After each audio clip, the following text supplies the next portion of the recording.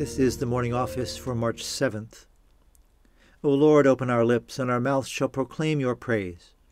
Hear our voice, O Lord, according to your faithful love. According to your judgment, give us life. Blessed are you, God of compassion and mercy. To you be praise and glory forever. In the darkness of our sin, your light breaks forth like the dawn, and your healing springs up for deliverance. As we rejoice in the gift of your saving help, Sustain us with your bountiful Spirit, and open our lips to sing your praise. Blessed be God, Father, Son, and Holy Spirit. Blessed be God forever. The night has passed, and the day lies open before us. Let us pray with one heart and mind. As we rejoice in the gift of this new day, so may the light of your presence, O God, set our hearts on fire with love for you, now and forever. Amen. The portion of the Psalter appointed for today is Psalm 95, verses 6 to 11. Come, let us bow down and bend the knee, and kneel before the Lord our Maker.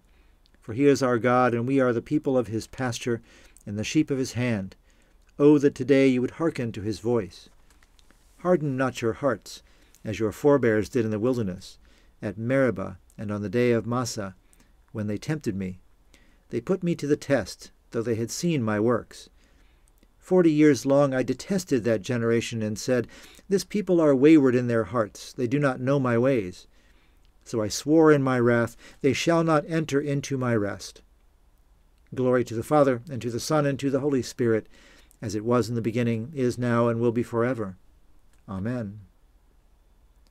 A reading from the book of the prophet Jeremiah. This command I gave them Obey my voice, and I will be your God, and you shall be my people, and walk only in the way that I command you, so that it may be well with you. Yet they did not obey or incline their ear, but in the stubbornness of their evil will they walked in their own counsels, and looked backward rather than forward. From the day that your ancestors came out of the land of Egypt until this day, I have persistently sent all my servants the prophets to them, day after day, Yet they did not listen to me or pay attention, but they stiffened their necks. They did worse than their ancestors did. So you shall speak all these words to them, but they will not listen to you. You shall call to them, but they will not answer you. You shall say to them, This is the nation that did not obey the voice of the Lord their God, and did not accept discipline. Truth has perished, it has cut off from their lips. The word of the Lord. Thanks be to God. Jesus, Savior of the world, come to us in your mercy. We look to you to save and help us. By your cross and your life laid down, you set your people free. We look to you to save and help us. When they were ready to perish, you saved your disciples. We look to you to come to our help.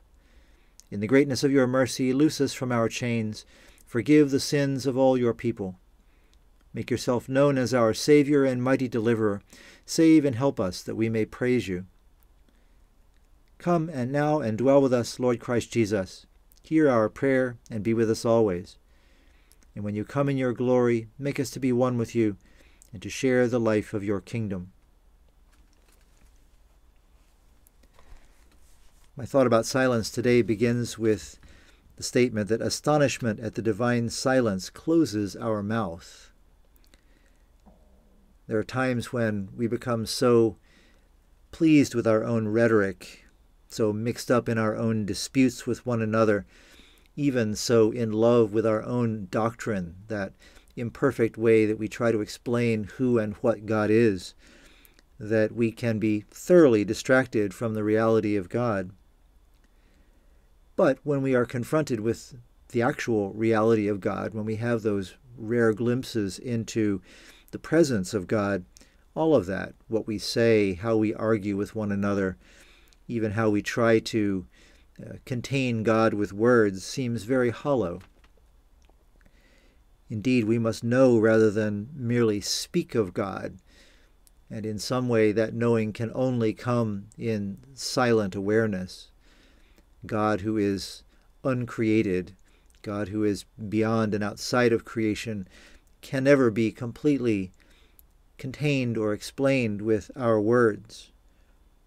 And so it is that only silence seems able to somehow begin to uh, sketch in for us the limits, or perhaps the lack of limits of God. I ask your prayers for the day, the world, and for the church. Pray today for yourself, for all the challenges you will face today, that in everything you do, everything you say, everyone you meet, you will somehow be the hands and heart of God, and you will be the image of Christ to all you meet today.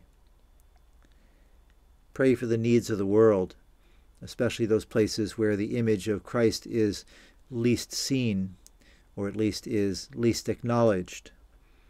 Pray that in some way the world will begin to recognize the peace and wholeness that God intends for it.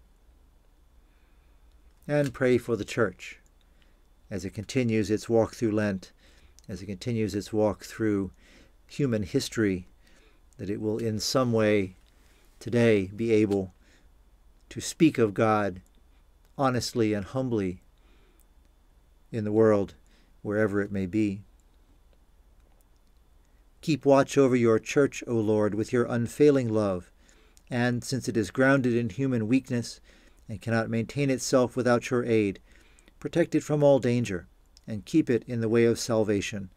Through Jesus Christ, your Son, our Lord, who lives and reigns with you in the Holy Spirit, one God, for ever and ever. Amen. Our Father, who art in heaven, hallowed be thy name. Thy kingdom come, thy will be done on earth as it is in heaven. Give us this day our daily bread, and forgive us our trespasses, as we forgive those who trespass against us.